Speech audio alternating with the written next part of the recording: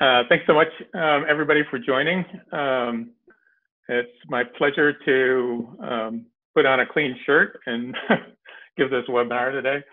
Um, as Brock said, I'm uh, chair for the Society uh, for Ecological Restoration, or SER, vice chair of the Global Partnership for Forest and Landscape Restoration, the GPFLR, which doesn't really roll off the tongue very well, but we'll, just have to do. Um, So I, I thought I'd uh, just give you a, a quick um, uh, review for those who aren't familiar with um, SER. It's uh, um, was founded in 1988 by practitioners and scientists. It's a membership organization, quite a bit different from most um, professional um, societies, in that we do have both uh, people working in the field and, and science scientists as well. And the whole um, idea is to link those two um, uh, components, the science and practice. And that um, goes ahead into our um, mission state statement as well. We're trying to advance the science, practice, and policy of ecological restoration. Um, right now, we have uh, well over 3,000 um, uh, members, again, scientists and researchers, practitioners, but we've got uh, government staff, indigenous people, students, artists, um, which is nice um, for uh, diversity, with 13 chapters um, throughout the world. Um, uh, we're developing a, an Africa uh, chapter at the moment and working on an Asian uh, chapter as well. And then we've got student um, associations as well, and two thematic uh, sections, one on large ecosystem restoration, then one on uh, international network for seed-based restoration. And our core programs are in science. Um, we publish the uh, journal Restoration Ecology. We're now hosting a restoration resource center uh, to provide a knowledge hub uh, for people working on uh, different restoration projects. Um, we also have a book series with Island Press. In terms of practice, we have a uh, certification program for uh, restoration practitioners, um, uh, which has um, been very successful. And we deliver um, conferences both um, internationally and regionally, um, and also webinars, workshops, and, and field trips and the like. Uh, also, uh, have uh, recently published, as Brock said, the International Principles and Standards for the Practice of Ecological Restoration, uh, which appeared in Restoration Ecology last September.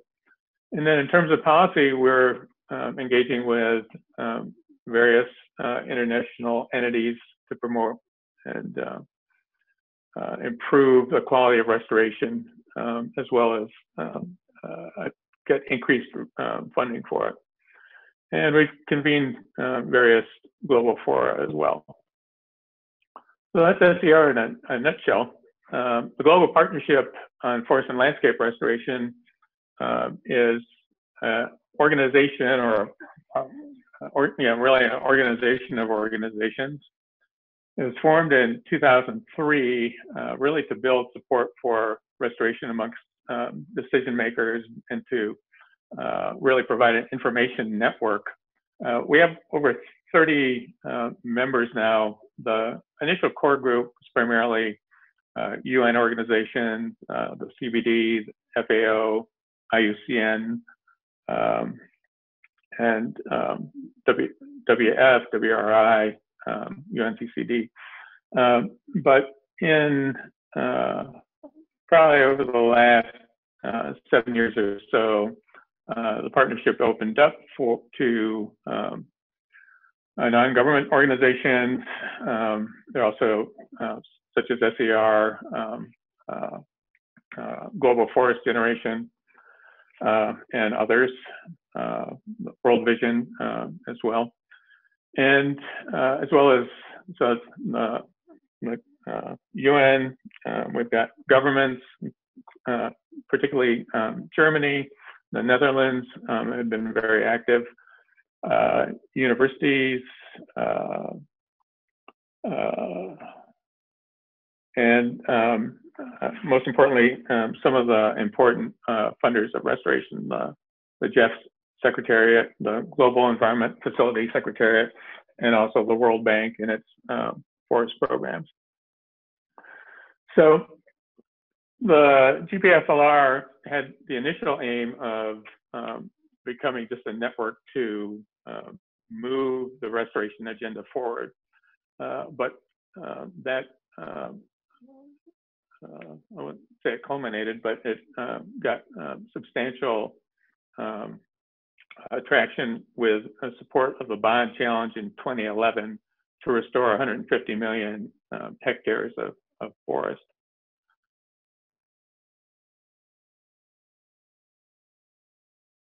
So I'll have a little bit more about um, FLR or GPFLR and what it does um, as we move forward.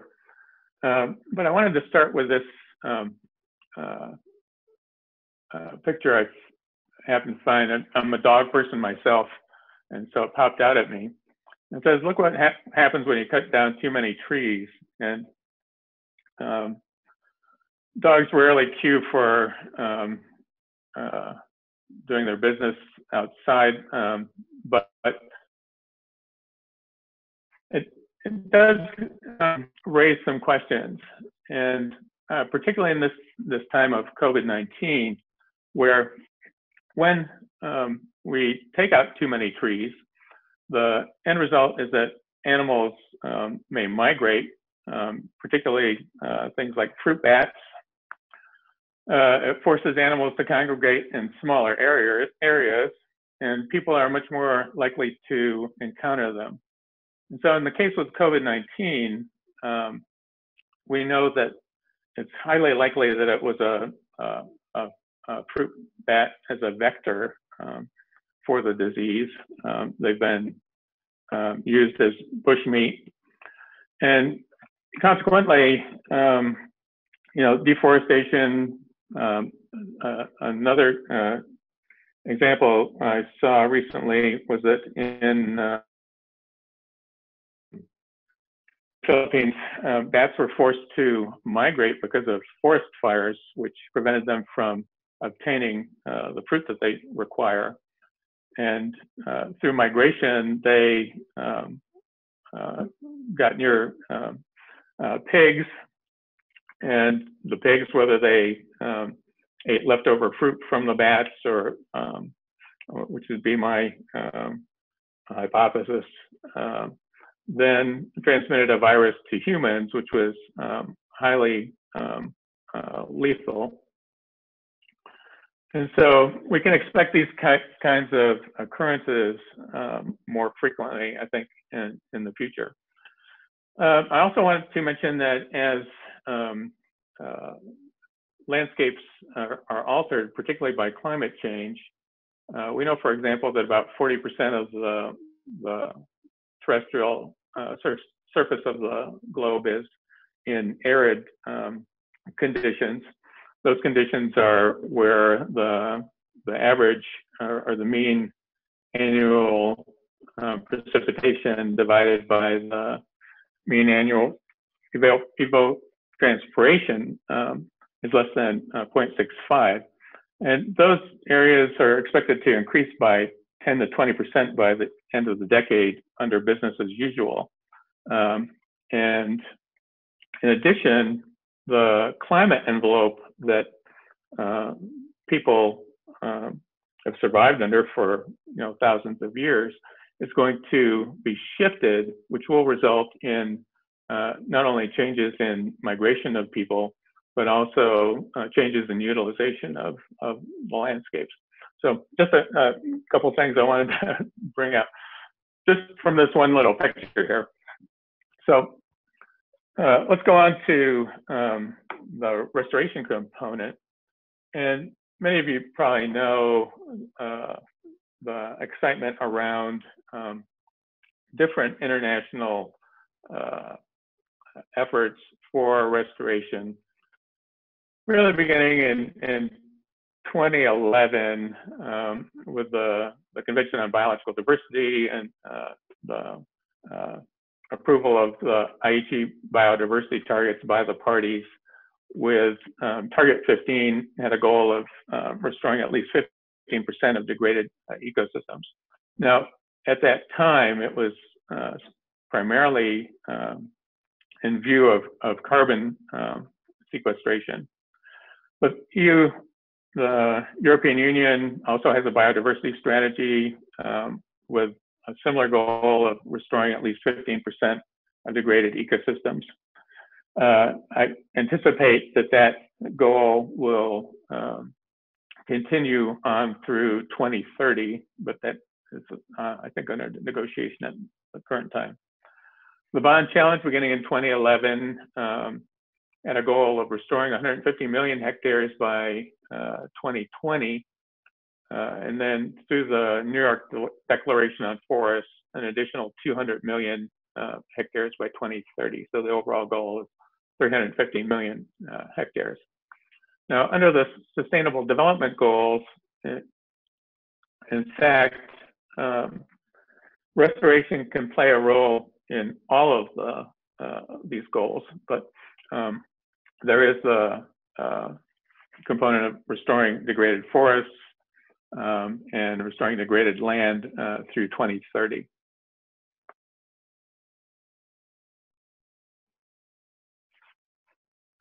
Now, uh, equally exciting um, was the uh, UN General Assembly's uh, resolution to declare uh, 2021 to 2030 as the UN decade on ecosystem restoration. So it was adopted last March.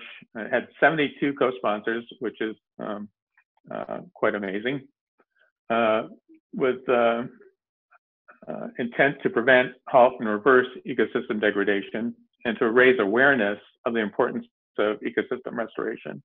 And this is uh, held for all terrestrial and marine ecosystems. And of course, obviously builds on the existing commitments um, that I mentioned before. I did for, forget to mention that the, the UN Convention on uh, Combating Desertification also has um, the landscape um, uh,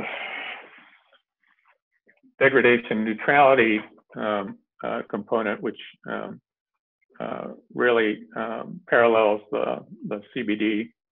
Um, so, and within the Bonn challenge, there are initiatives in Latin America, Initiative 20 by 20, and also um, for Africa, AFR 100.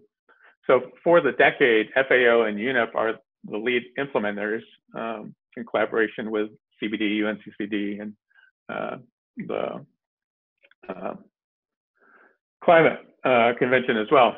And so um, uh, my hope is that all of these conventions can um, really work in parallel to move the restoration uh, agenda forward.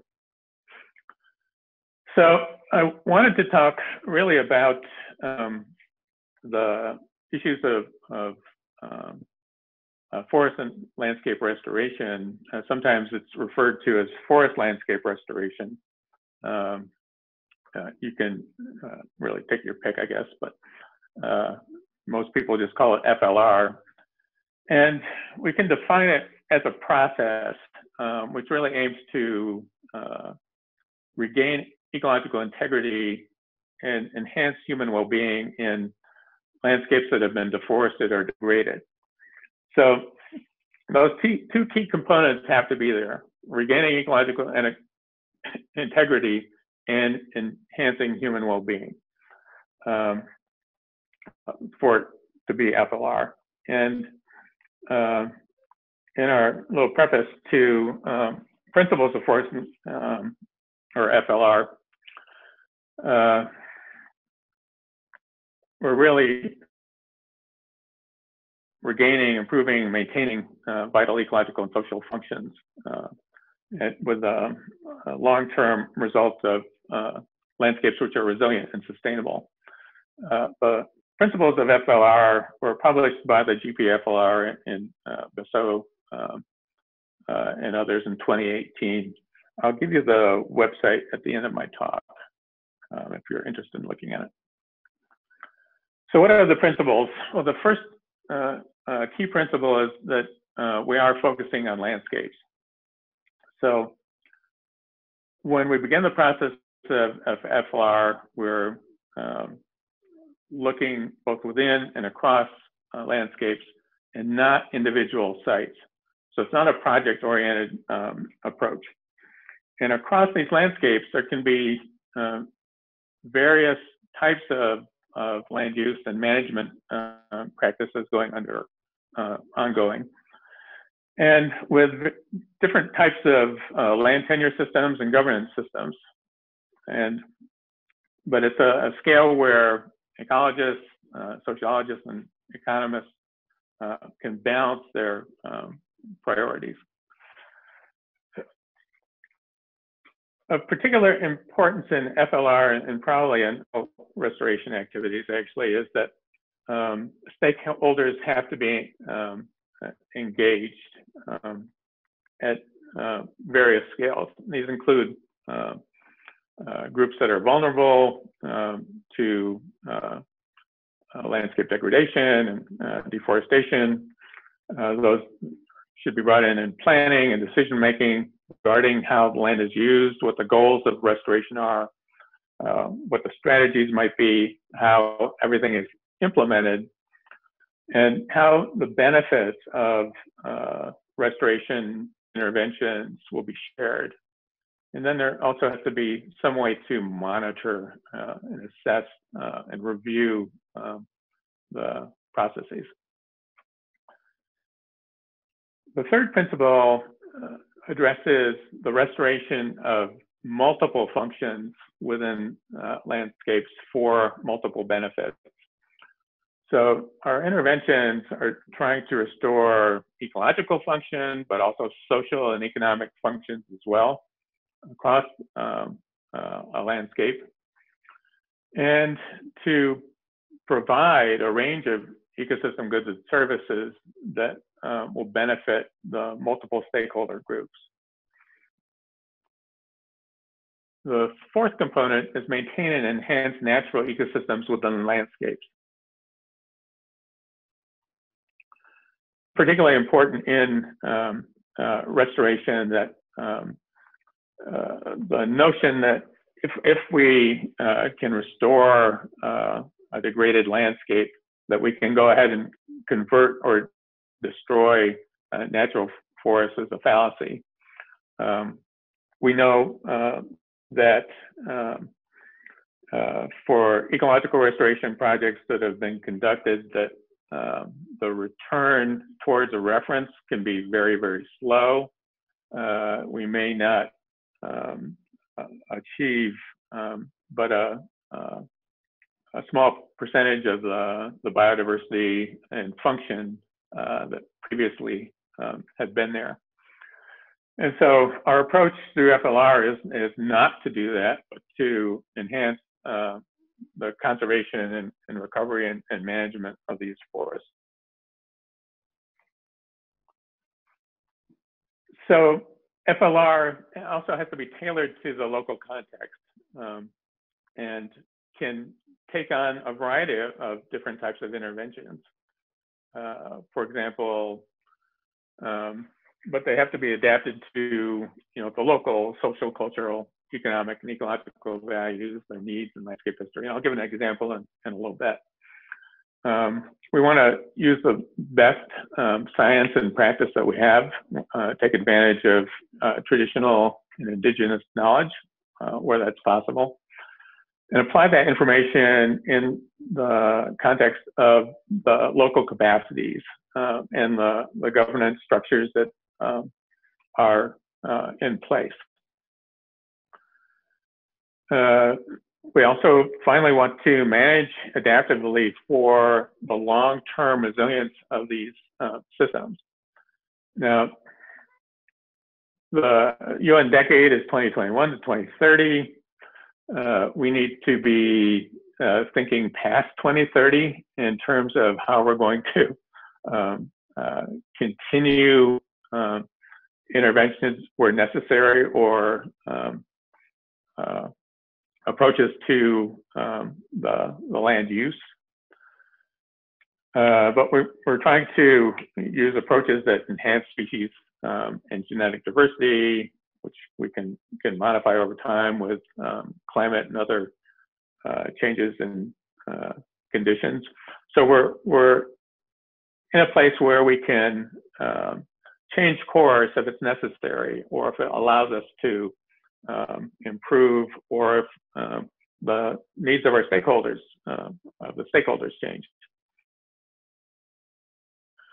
Uh, we would really like to uh, have a, a, system where we can monitor uh, success, um, provide that research and uh, guidance, which can be uh, further integrated. So what does this look like on a, a landscape? In, in many uh, regions in Africa, some parts of South America, um, in Southeast Asia, there's really a, a mosaic of, of possibilities um, where up in the uh, upper uh, left corner of the graph, I don't think I can, no, I guess I can. Um, we have protected primary forest. Um, we have degraded primary forest where uh, we may uh, want to um, uh, do some uh, interventions systems, uh, permanent pasture, uh, areas of um, intense agricultural use, which could in fact be um, improved in some cases by um, uh, restorative approaches in terms of improving soil quality. we have a, a, riparian system going through this cartoon that doesn't look very good. It's possible that um, riparian uh, interventions uh, could occur there as well. So I want to take you um, to uh, a little model project that I uh, visited last year on Biliran Island in the Philippines. The Philippines, um, as in many areas, um, saw really widespread um, uh, logging through the last um, century and I believe there's only about 3% of primary forest left. Um, up on the, the tops of the uh, peaks on this uh, picture is um, second growth forest.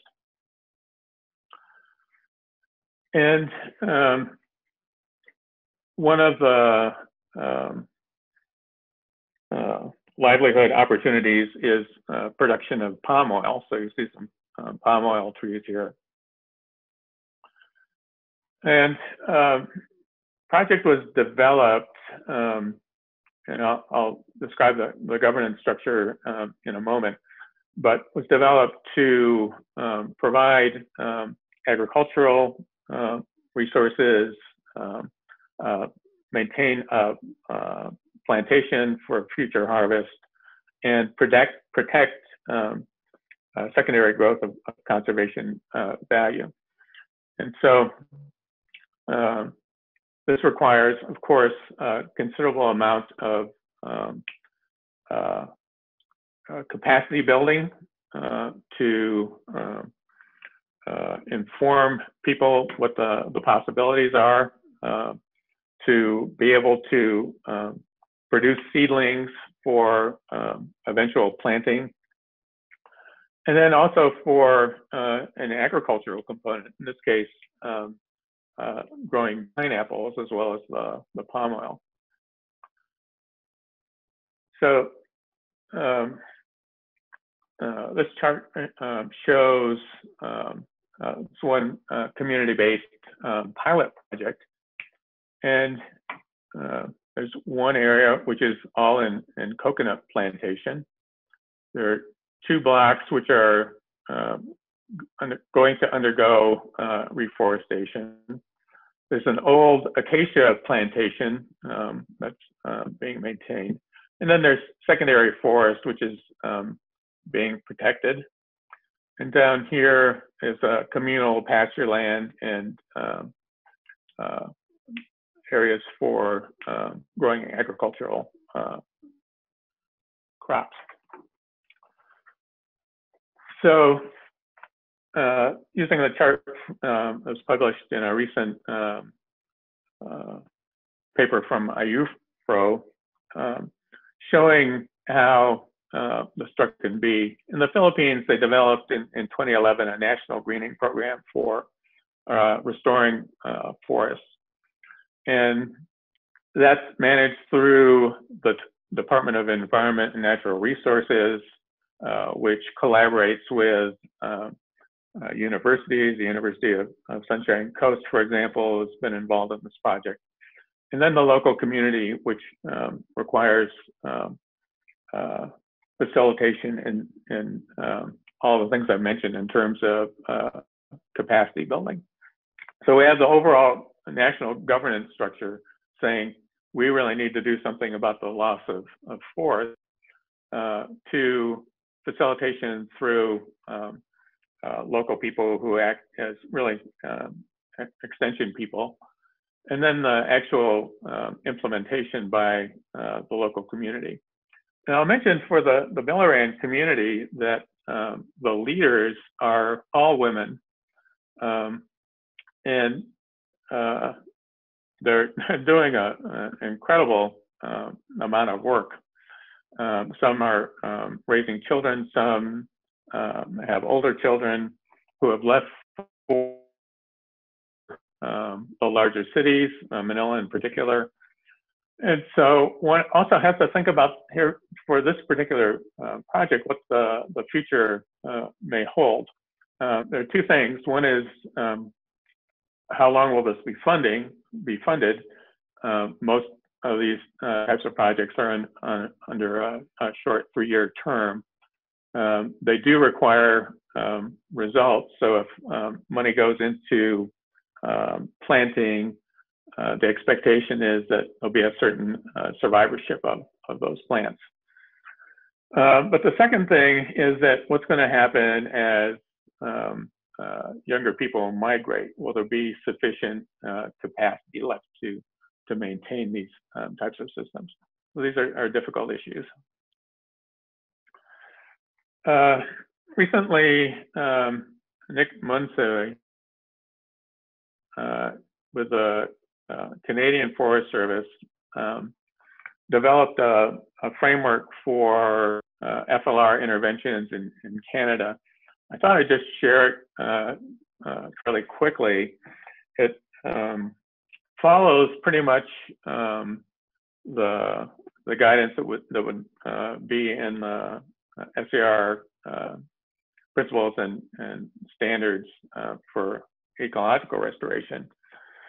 And uh, in terms of um, need to identify what the opportunities are, where where can restoration be accomplished? What are the, the drivers? Um, and in many countries, there's also been uh, uh, considerable emphasis on, on where we can uh, get the best value for uh, the dollars invested in uh, restoration. Although I will say that in general, the, the return on investment is quite high. Uh, so identifying um, opportunities, but then the next level is really uh, uh, identifying those people that can make it happen, the stakeholders, and and have a, a, a mechanism for uh, governing work. And um, it may be that that policies and regulations that uh, could support um, restoration may uh, change.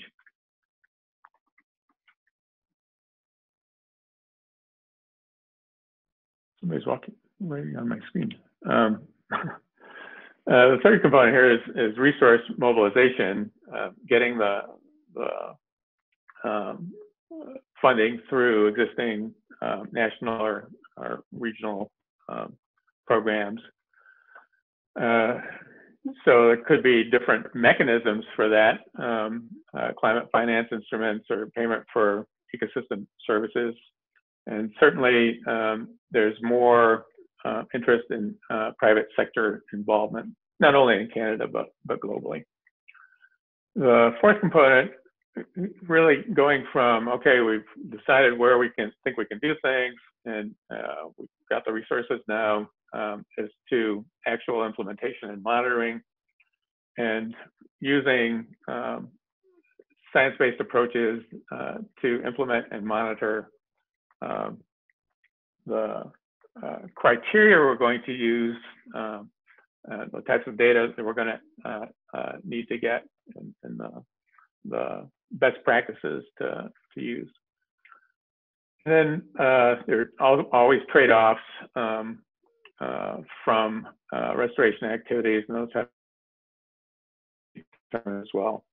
Uh, and then um, through uh, the this lower idea of, of, dialoguing, figuring out what we're going to do to um, uh, initiating, monitoring, um, and cycling back, evaluating our work um, is an adaptive management um, uh, scenario, really.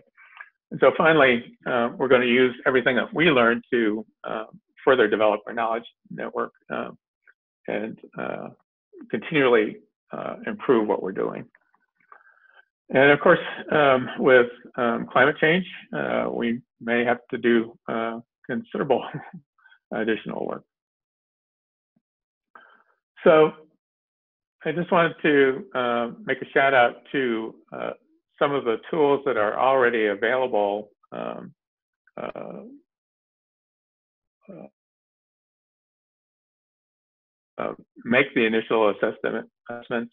Um, the ROAM or the Restoration Opportunities Assessment Methodology developed by um, IUCN and, and, World Resources Institute uh, has been used in 27 or so uh, different countries to identify somewhere around, uh, I think, 160 uh, million uh, hectares for restoration.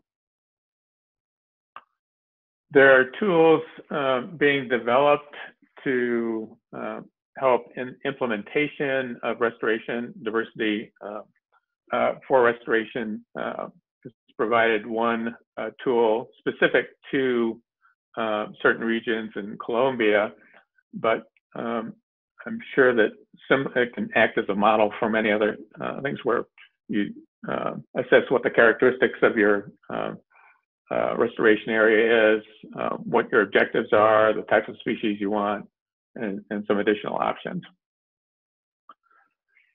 So FLR is also um, uh, considerably important in, um, in, in the future, I think, in in terms of um, maintaining protected areas. Uh, this uh, cartoon comes from Ecosphere Plus. Uh, they're working with an NGO in Peru at uh, Cordillera Azul National Park. It's a fairly large park, 1.6 million hectares, but the surrounding area, I think, adds another maybe uh, 4 million hectares or so. Um, and within that um, uh, three or four uh, million hectares are um, people who are uh,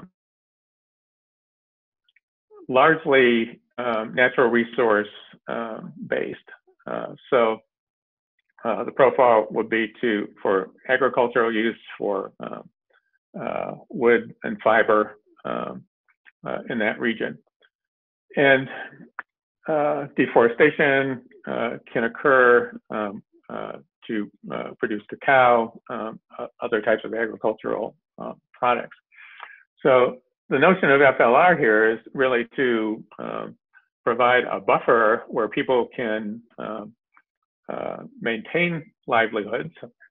Uh, so down on the, the lower tranche here, um, we're trying to work with about 5,000 um, residents uh, to ensure fresh water and sanitation, uh, produce jobs um, with a large number or larger number of, of women employed, and develop sustainable enterprises uh, while also uh, maintaining uh, the forest systems, protecting uh, vulnerable species, and uh, ensuring carbon credits. So that's this is kind of the epitome of FLR, really, in um, uh, uh, kind of mixed use um, in this case, around the protected area and really buffering and protecting um, that area. Um, uh, so uh, this I might add are the, the impact targets for 2021. They haven't been achieved yet. Uh, similarly, in the, the Amazon basin, uh, this chart um, was, uh, or map was recently published, and it shows in orange uh, indigenous uh, territory, and in green protected areas, and where it's hatched, it's um, uh, an overlap of, of the two. But I'm going to flip over to another slide, and if you um, simply right now look at this region when I flip the slide, you'll see that um, it's much browner, and that's the above ground uh, carbon density. And so in areas outside of um, uh, the protected areas and uh, indigenous territories, if I go back up, um, you can see um, the reduction in, in uh, uh, carbon with uh, deforestation, burning, and conversion. A similar um, chart shows uh, the changes in above ground carbon uh, uh, density, and red being um, the, the, the, largest losses. And again, down in this region, you can see ringing around these protected areas are um, uh, changes. So here too, um, uh, the conversion where uh, it could be halted or, or where at least those um, protected areas could be buffered from uh, uh, additional intrusion uh, would be useful. So one, one interesting thing about FLR, it's been um, uh, really discussed for over 20 years. We, we know a lot about what can happen, but we have um, fairly limited examples over uh, a long period of time. And many of the examples um, that are used to understand FLR are fairly old um, and, and, actually predate um, uh, the, the, notion. But we can still um, uh, learn from them, even though they don't address all of the, the FLR principles. And I just wanted to mention a few um, that um, Stanturf and, and his colleagues um, offered after reviewing uh, about a dozen different uh, case studies.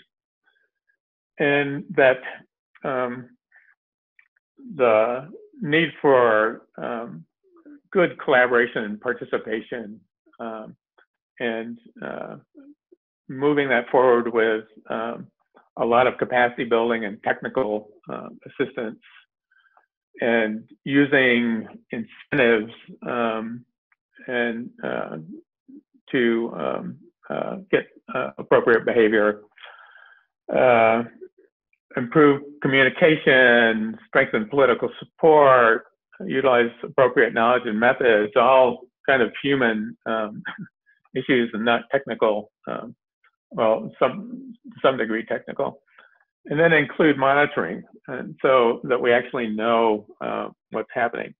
Now, I wanted to um, just consider monitoring uh, very briefly uh, from uh, some work that Le um, and, and, colleagues conducted or uh, published in 2014, where uh, they were looking at reforestation success in the Philippines. Um, they found they came up with 98 potential success drivers, um, technical ones, biophysical ones, socioeconomic, institutional policy and, and management, and uh, the characteristics of the, the, projects themselves. And then had 12 success indicators on forest establishment and growth, uh, environmental conditions, and also social. And they were able to, on uh, Leyte Island in the Philippines, um, look at 43 different uh, restoration uh, projects. So uh, this is the kind of graph that I would never have allowed my students to present in a, in a talk. Um, but it, it shows, and we, and uh, I'm just going to limit my discussion of it. Uh, it shows the su success indicators in uh, dark, and the drivers are the boxes um, that, that, are um, uh, open. And then linkages between indicators and indicators and drivers and indicators. So out of this complex graph, what I what I want there's really two points. I want to uh, talk briefly about um, oops, um, about the the um, test drivers, um, starting down in the lower area here. So direct payment for planning, a success driver. Uh, the dependence on local people for forests for subsistence, a driver. Uh, the funding, how it's funded is a success driver. Road conditions, which I, I guess was not anticipated to be one, was also a driver if I could get there.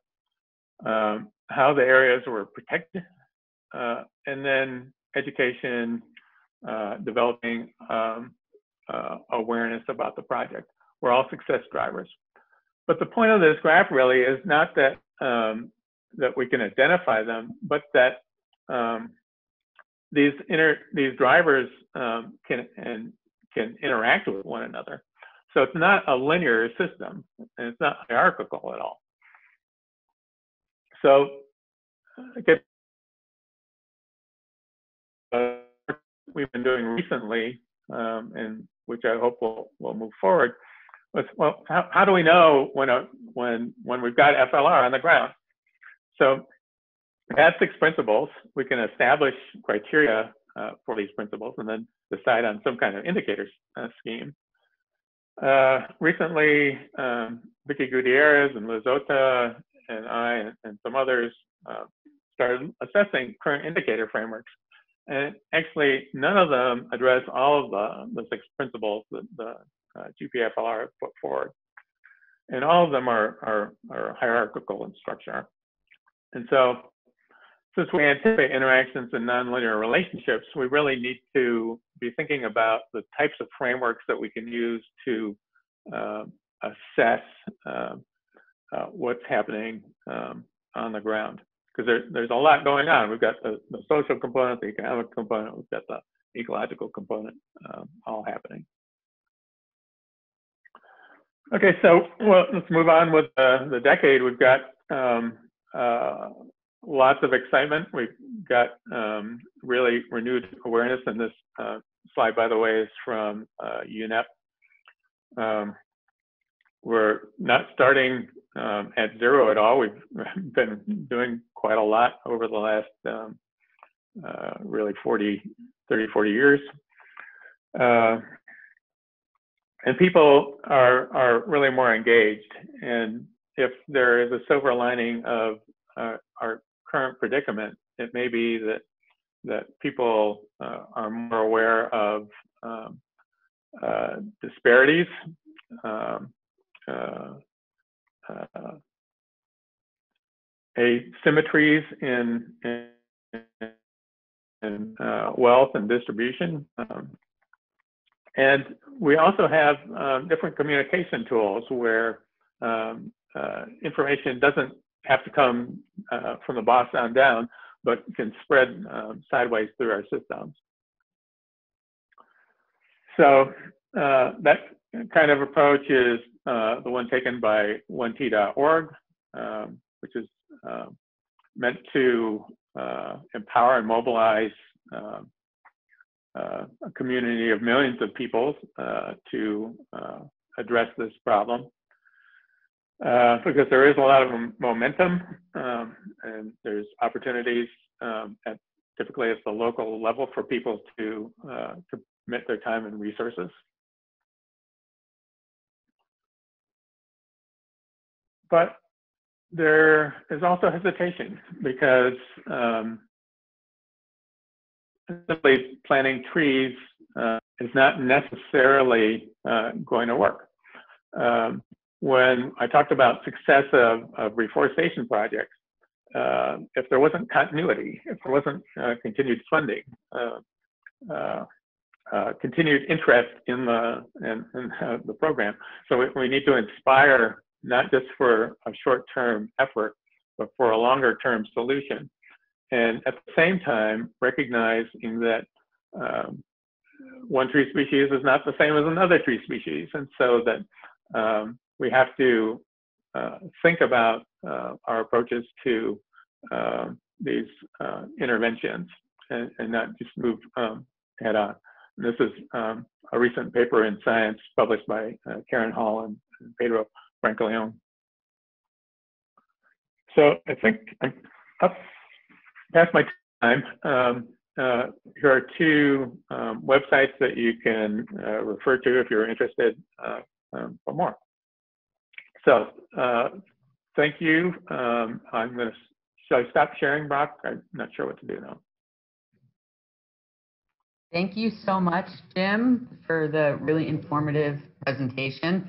I wish you could have been seeing the chat as there was a really lively discussion among participants on all different ideas related to FLR, and I'm going to try to capture that for you.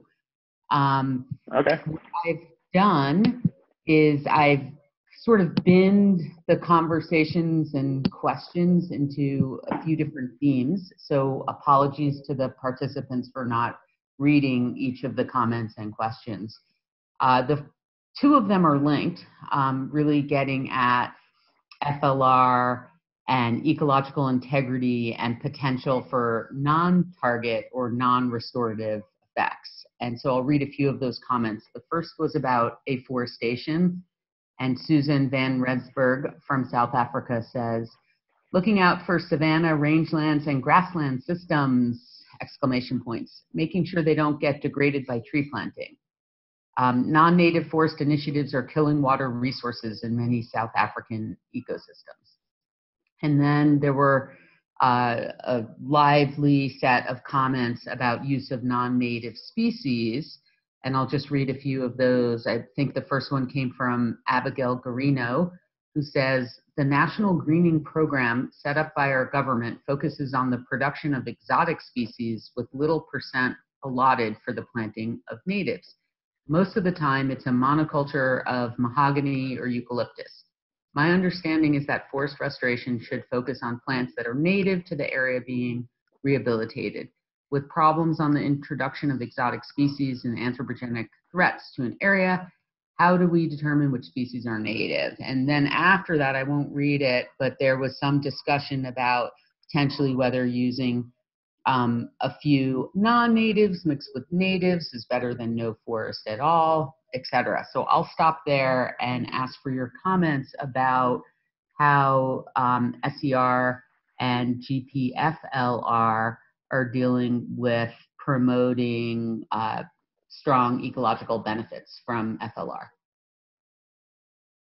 Okay, well, thanks for those questions. They're, they're um, uh, very critical questions, really. Um, let me address the, the issue of, of grassland um, transition. And um, I don't, I don't know of anyone uh, in the space that, that thinks that converting grasslands to to forest um, is something that we want to do. Uh, most of this discussion came from the production of the, the WRI, WRI uh, global, I think it's global restorations opportunities map that um, was produced a number of years ago. And that map showed um, savanna and grassland areas where there was the potential to grow trees based on um, uh, their work. Uh, uh, Joe Veldman and, and others um, uh, immediately pointed that out. Um, and I think that it's, it's pretty well understood that no, that's not something that, that we um, encourage happening. Um, now, the next question about exotics and monocultures is, is also important. In um, FLR, it is um, certainly possible to have as part of the landscape uh, plantation. Um, to have everything in plantation would really not um, uh, be uh, considered FLR, uh, in my opinion. Uh, the and the use of exotics, um, that's a, a, gnarly one. Um, and it also will depend upon the needs and desires of stakeholders. So for example, for eucalyptus, if the stakeholders want something that they can grow really quickly, uh, even though it may take a lot of water, um, they may decide that eucalyptus is what they want. Um, and if uh, there are uh, good reasons not to do that to move to to natives. I know there was um, work done in Kenya um, in restoring uh, uh streams with native uh, vegetation rather than eucalyptus. And what they found was that uh, by using the the native tree species, that streams would run all year long. Where eucalyptus was grown, the streams would run for six months. So um, and the eucalyptus there was um, uh, grown to to burn uh, to dry tea. So um, if one could, in fact, um, provide an alternative to uh, eucalyptus burning uh, to dry tea, uh, maybe a solar oven or, or something of, of, that sort, then it would be possible to uh, educate the, the stakeholder um, and, and, possibly transition away. Um, there is the, the situation where exotics can, in fact, outgrow native trees, and that's a, a risk. So we certainly, um, in areas, for example, that buffer um, protected areas, we wouldn't want to use um, uh, those types of, of, of, trees. So I, I, hope that answered. If it hasn't, um, uh, Yes, thank you, Jim. Um, I'll just add on, um, Jim mentioned the international principles and standards for ecological restoration. And there's a framing in the standards that may be helpful on this topic, which is the restorative continuum. And so it separates out ecological restoration from other kinds of restorative activities. And I'm mentioning this because Rosa um, Ortiz has asked um, or has said there's a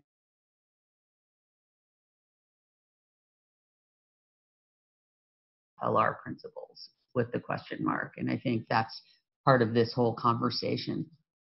Um, I want to switch topics here.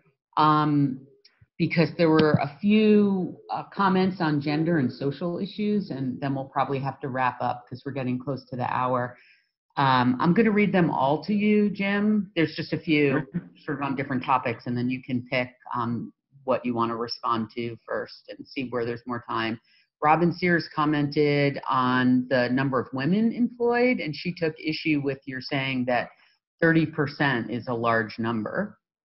And then um, Consuelo Bonfil says, on a different topic, I believe in all Latin American countries, addressing social issues and land tenure is much more important and complex.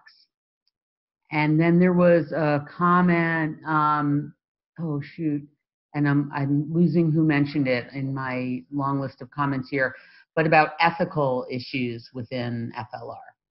And apologies to the asker of that question that I'm not getting that right. Okay. We've got gender um, issues, ethics, and social issues and land tenure. Yeah. So um, that 30% is was a, a, hypothetical, and for that area, I, am just assuming since it um, is a, a, a goal that for that particular um, area that that might be um, uh, an improvement over um, uh, the status quo. I'm, I'm, I'm, not sure. I don't um, uh, have the full details on that. Uh, and certainly in, in Biliran example, uh, women are, are, are really running the the show. They're they're than 30%, but maybe um, it's a longer term uh, uh, process. Land tenure um, is a really thorny uh, issue, and I think that um, uh, uh, ethics also play a role here. Um, when and, and and that's why um, uh, improved governance um, and greater communication are probably um, uh, pretty critical uh, components. What we know is that when stakeholders are dissatisfied, that um, projects um, get destroyed. Uh, something happens. They get burned down. Um, they get torn up. Um, so communication and, and fairness, I think, are, are critical components of, of any uh, restoration intervention. Great, thank you. Um, let's see. Uh, Um, there were a few questions about um, local issues and taking local issues into account. I think that's somewhat covered in land tenure, but let's have that. We're right at the hour here. Any final things about local issues as the last question? Uh, local ever, um, I mean, really, uh, okay, so the, the local interventions and, and local communities um, uh, really have to be um, incorporated in, in the interventions. Um, uh, with now the, I guess the issue that is of interest to me is that okay, now we've got local projects, and how do we scale up? And so, um, uh, can we scale up by having multiple multiple landscapes um, uh, under different ownerships and uh, uh, uh, different um, governance structures um, combine? Um, how do those landscapes um, overlap in terms of, of ecological flows or biological flows? good questions. I don't, I don't have the, the, the answer yet. Great. Thank you so um, much. I saw, I saw in the chat somebody wanted some um, uh, citations, and I can provide those. I um, I don't have them at hand, but I can um, certainly email them. And I um, did include your email, Jim, um, through chair at ser.org, so you can follow up with Jim directly that way. Yeah. And we're a yeah. little. So I don't have Sorry, I don't have a copy of the chat um, uh, box. I can send you a copy of the chat as well. Okay, and um, we've mentioned in the chat that the, all the videos in the series are posted both on YouTube and through the Ecosystem Restoration Thematic Group's webpage. So you can find all the videos from 2019 and up to current in 2020. I do want to promote the June 19th webinar which will focus on ecosystem management and human health. We had originally planned to focus on um, kind of a recap of the World Conservation Congress, IUCN's big event, forum, and members meeting um, in France, which of course got postponed. So we're really pleased to focus on a topic that's now really front and center in all of our minds. So that's the third week of June on Friday. Um, I just want to again thank Jim and all of you for participating.